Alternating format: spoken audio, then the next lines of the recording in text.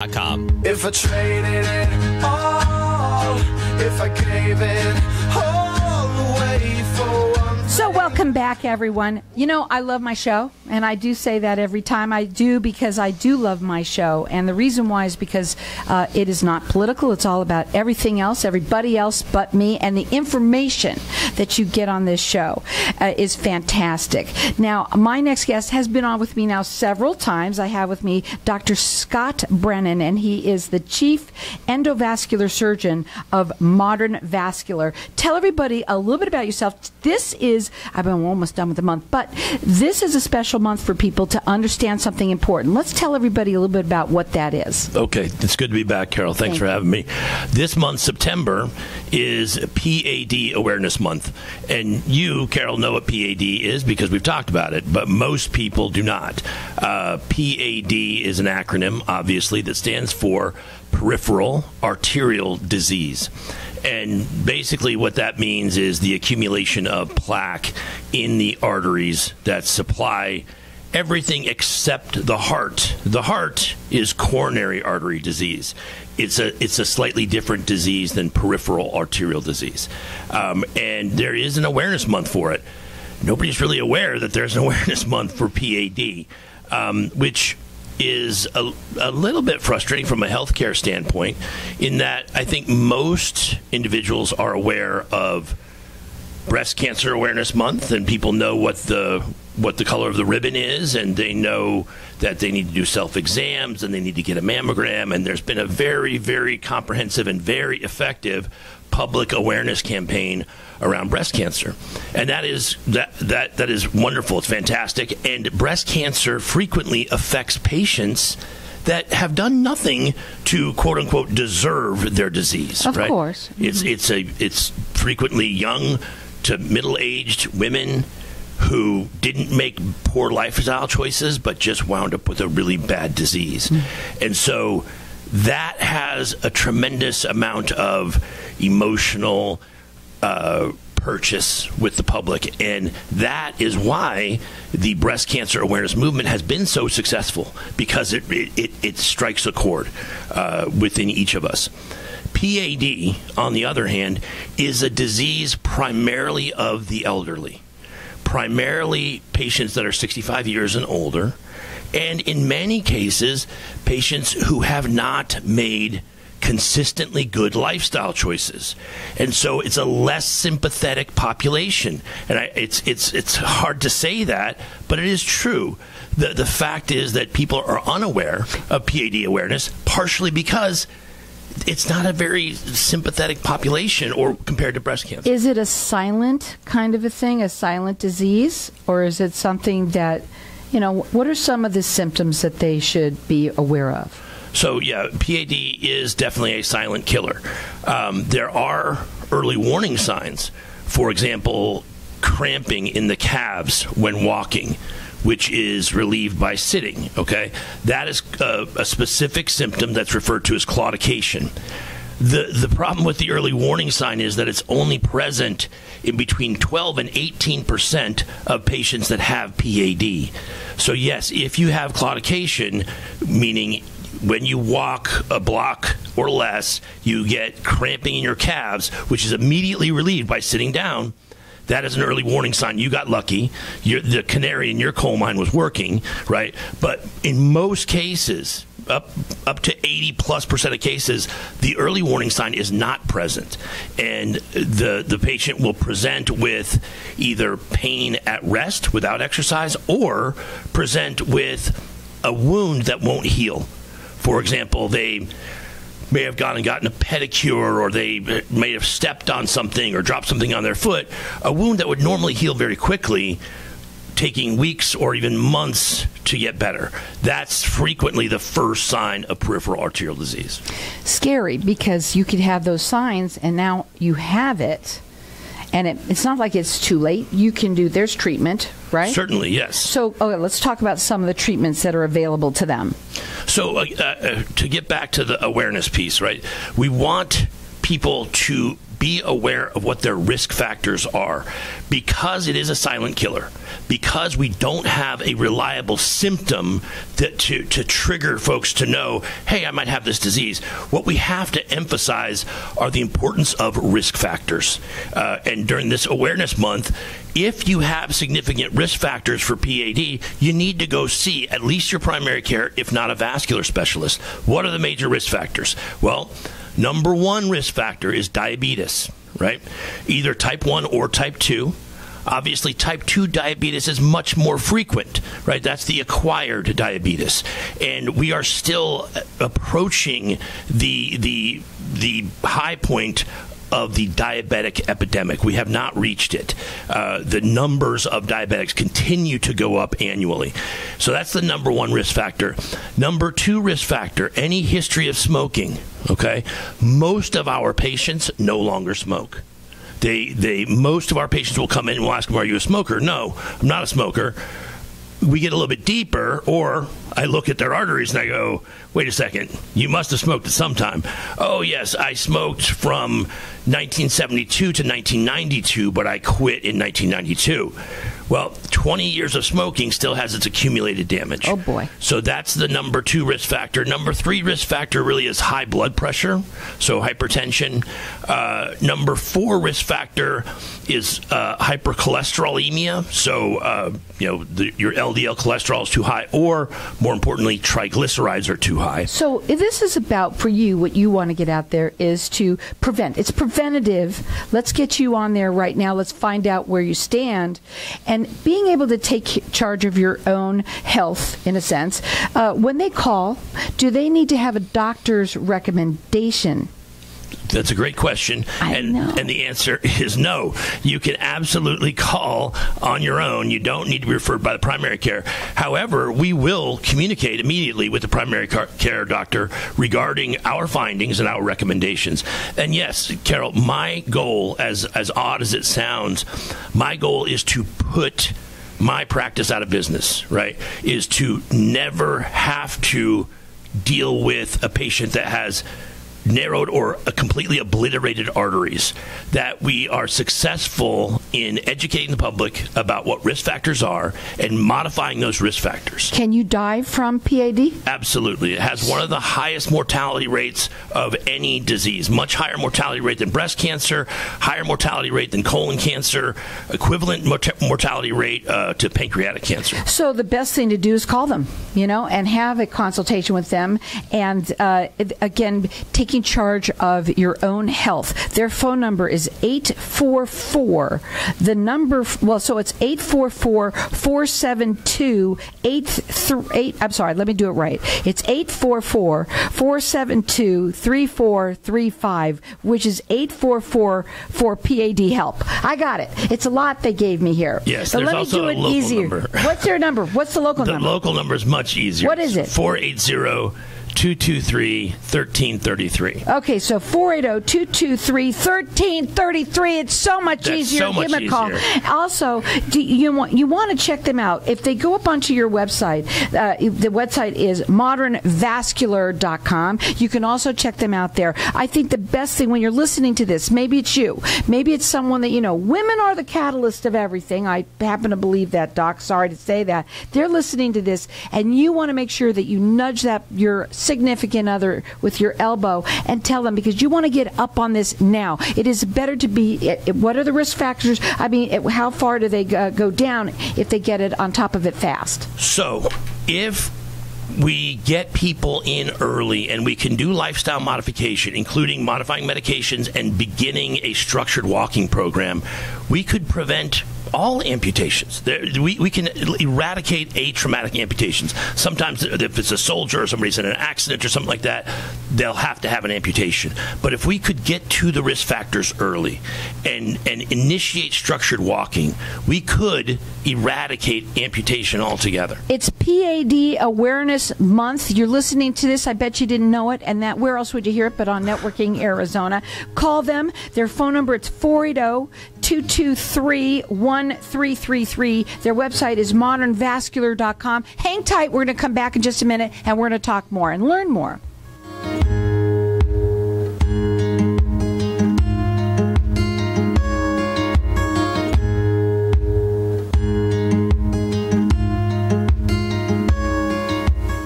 Happy birthday to everyone turning 65 soon. You have an important decision regarding your Medicare coverage and enrolling at the right time. Medicare is confusing, and having the right information is important to making the correct decision. Visit t65.us to receive information on enrolling into Medicare. That's t65.us. My name is Peter Arona, a local agent in your area working to help you understand your Medicare options. Please visit t65.us to receive information on enrolling into Medicare. People from all over want to come to Arizona, so why not turn property you already own into a vacation home? At iTrip Vacations, we're invested in your success. Our boutique customer service ensures your questions are answered, your peace of mind is intact, and your property is expertly maintained. Plus, we partner with dozens of rental services to maximize marketing and keep your property booked. Call 480-586-9096 today or visit itriptempe.com. When does it get easier? I hear that all the time from business owners and leaders that just aren't getting the same results from their hard work they used to. I'm Ken Kilday, and I work with business owners and leaders to unlock their leadership genius. Start today with a breakthrough strategy session and start making the cut. Call or text 602 820 6978 or online at makingthecut.biz. That's 602 820 6978 or online at makingthecut.biz. Struggling to fit auto repairs into your busy schedule? Need a new battery, oil change, or brake pads now, but you can't seem to find a convenient appointment? With On-Site Oil Change Plus, we've got you covered. Our mobile professionals will come to you. That's right. Sit back and relax at your home or office while our experts serve your vehicle right at your location. It's that easy. Specializing in cars, trucks, RVs, and fleet. Call 480-407-0352 today. Mention 1100 KFNX and receive $11 off. OnSiteOilChangePlus.com. Our city is a full circle food waste to farmland compost collection service in the Phoenix Valley that makes it easy to turn your food waste back into farmland. Returning nutrients to the soil allows us to grow fresh and delicious local, chemical free produce for our customers. Help us reduce landfill waste, transportation, and spoilage while strengthening the local food economy. Available to most households valley wide, our city truly is farmland for the future. Sign up for a 14 day free trial. Visit www.r.city. That's the letter R. dot City. Frequent trips to the bathroom keeping you up at night? Sudden urges or leaking when you cough or sneeze, interfering with your quality of life? Then VJuve Med Spa is your answer. All treatments are non-invasive without drugs or surgery and FDA approved. Approved by Medicare too. Our treatment is also incredibly affordable and convenient. With four locations in Mesa Surprise and Scottsdale. Schedule your free consultation at stopthep.com or call 480-593-5400 for the relief you've been looking for. Let VJuve make you a better you. If I traded it all. So, welcome back, everyone. I bet y'all didn't know that it's PAD Awareness Month, and uh, Dr. Brannan, he is here to you know make everybody aware of this. This is what you really want. Is it's the awareness that you want to bring to everyone. So important that you get on top of this. Make sure early detection is a key for anything obviously. And uh, unfortunately sometimes when you find out that you know that you have this it's or, or that you start having even the symptoms now you already have it where it might be pretty bad and you don't want to have that happen. Somebody gets uh, let's say diagnosed okay? I also want them to know you do not need a doctor's recommendation to call them. Very important that you could do this on your own and get on top of it and stop waiting. Okay, so number one, um, I wanted to say when somebody, let's say, finds out or has some symptoms, they're listening to you and they want to say, "Oh my God, what do I do? What's the first step?"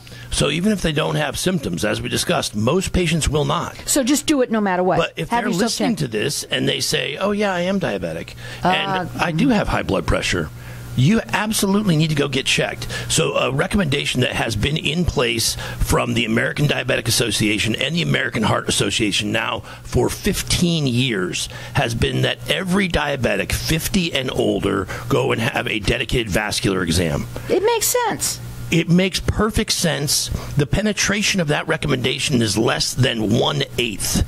Less than one eighth of diabetics that are 50 and older have ever gone for a diet for a dedicated peripheral vascular evaluation. Um, you know, it, it's a forgotten disease, as we talked about, because of the population that it affects and because it's a silent killer.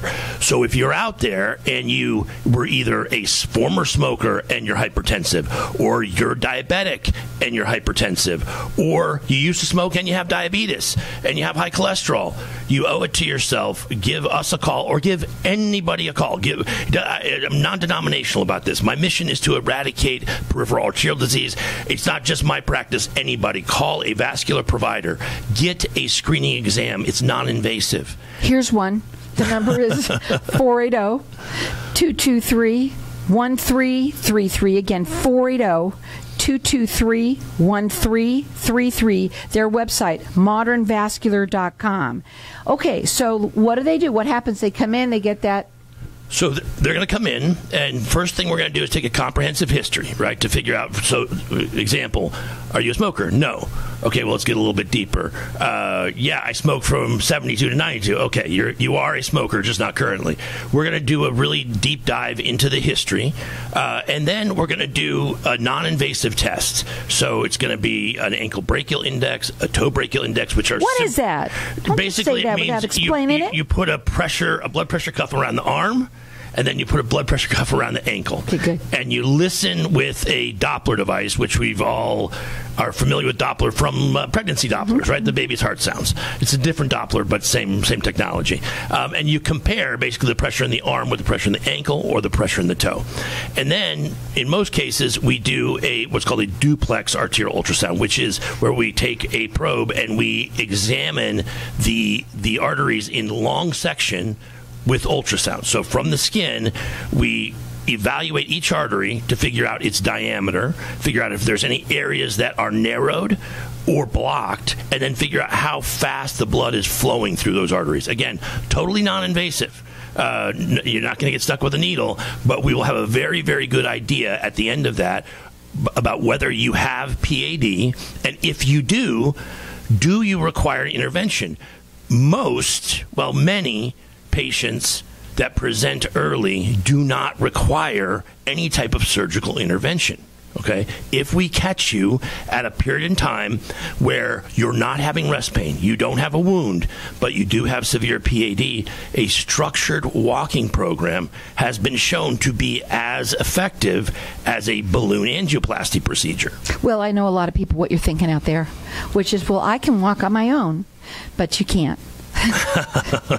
well, it's it, this has been documented time and time again. Since I was in medical school, there was another study when I was in residency. Uh, there's been a sub- subsequent studies after I graduated from training that structured walking, meaning walking that is supervised by a healthcare professional, is more effective than coached walking. Coached walking meaning you're given instructions and you check in with the coach every week the the coached walking is not effective. The observed walking is effective. So when you say observed walking and you're standing there looking at somebody walking, Right. But they, what do they do during that time? So basically, it's usually done in, it's usually a structured walking program is done in groups. Uh, it can't be done individually, and it's a physical therapist usually. You do it there at your um, No, office? no, we don't do it at you Modern Vascular. Yeah, okay, we, we send, send them, out to okay. usually the physical therapy. Okay. And with you know the, the with the pandemic, it can be done at home. Like a, a, therapist will go to the house, and it's it's a pretty simple formula. Basically, they put you on a treadmill or they put you on the ground, and they get you to walk until you're experiencing pain, and then you stop for two minutes and then you get back on and you walk for as long as you can until you're experiencing pain, and then you stop for two minutes, and then so you get back walking, on. walking yeah. is that done? Like how long do they do that? So they're walking. It's because somebody can be in pain in two minutes. Oh yes, very right? frequently, very uh, yeah, very fast. Yeah, but then they stop for a couple of minutes. They keep on going. The regimen is to do that. Let's say you do it three times. Three times. Yep. So okay. you, you walk until you can't walk. You sit down. Walk until you can't walk. Sit down. Walk until you can't walk, and you're done. And then you're done. And you do that once a week, right? To start with. Okay. Start once a week to start with. Um, most patients can't do more than, than once a week. Then you have twice a week. Then three times a week. Then four times a week. And what that is doing each time you do it, it's recruiting arteries that had not previously been recruited. Right? So it may be that your major arteries are completely filled with plaque, and those will never come back unless somebody goes in and takes the plaque out. But the the unnamed arteries, the small little collateral arteries, if we can get those to increase their capacity, frequently that is enough. I mean, you know, when you say to me somebody can't usually do it more than once a week, that means that they must be in a lot of pain. Every Yes. time they start to walk, they must be it must be very difficult for them. And that's one of the most difficult things about diagnosing peripheral arterial disease is the self-regulation factor. If you ask somebody who has very severe PAD, about 80% of the time you ask them, "Do you have pain?" "No." "No, I don't." "Okay, uh, how far do you walk?" "Oh, to the mailbox." Why don't you walk further?" "Well, if I walk further than that, it hurts." Right, so they don't spontaneously report pain because they're self-regulating because they don't do things that increase metabolic demand that would cause pain. Well, So- again, like what I say is, is since this is PAD Awareness Month, right now you're very passionate. You are so passionate about what you do in every area, I must say. Uh, but right now, you, you're on a mission. And the mission is for you out there that is listening to this right now, is either tell you yourself or someone that you know that you need to get checked. And everybody should. It just seems to me anybody over a certain age let's say 45 50 years old whatever you need to get checked for this. Now you can call them and they, you don't need a doctor's recommendation. So write this number down. It is a silent killer and you don't want this to creep up on you. That phone number it's oh, 480-223-1333 their website is modernvascular.com i also want to talk about people who smoked a long time ago and they think oh my god that was 30 years ago right? I'm fine no, that is not the case at all. So this is. Uh, um, it's not well known, but it's 100% factual. Uh, you should quit smoking. If you're smoking, you should quit smoking. Hello. right? that, that everybody knows that. But there's a Um, lot of people that quit that can't they just can't or they still do it. They know they're supposed to, but Yep. they can't. Go ahead. Yeah, and, and I have patients that absolutely can't. And so, what what you need to understand about the cigarette smoke is there is a dose relationship. The effect that cigarettes have on your arteries is related to the dose. The dose can be calculated very easily. Imagine that you're somebody who smoked half a pack a day and you did so for 30 years. We would dose you as a 15 pack year smoker. Okay, half a pack times 30, that's 15. Imagine you smoke a pack a day and you do so for 20 years. You are a 20 pack year smoker. Basically, the threshold that we have observed for smoking is we don't really see any major effects on the arteries until we get to at least 10 pack years. Once we get past 15, it's ubiquitous. Every smoker will have smoker's plaque, mm-hmm. basically after 15 pack years. The, the unfortunate thing is that plaque doesn't ever go away. Once you have it, unless somebody goes in and removes it, you have it. It is admirable that you have not smoked in 25 years, but the fact that you smoked for 25 years before that doesn't go away. Well, you have to be checked, and that's the bottom line. And that's what you want is for everybody to go out there and do that. You're not saying that they have to go to you, but they should because you've been doing this how long? Um, limb salvage is my mission. That is. what that- do you love about what do. you do at, at Modern Vascular? What do you love about Modern Vascular? You know, what do you love about it? the the ability to uh, take enough time with each patient to increase the likelihood of limb salvage higher than any other place that I've ever been in that I've ever been exposed to. And what will happen if somebody doesn't take care of this amputation? That is the unfortunate uh, yeah endpoint. Okay, so their phone number. Listen up to listen up to this. It, it's 480 223 1333. You do not need a doctor's recommendation. I don't care if you have symptoms or not. In my opinion, once you hit a certain age, this is just something everybody should do. And uh, it is the PAD Awareness Month. He is passionate about this. Check it out on their website. It's modernvascular.com.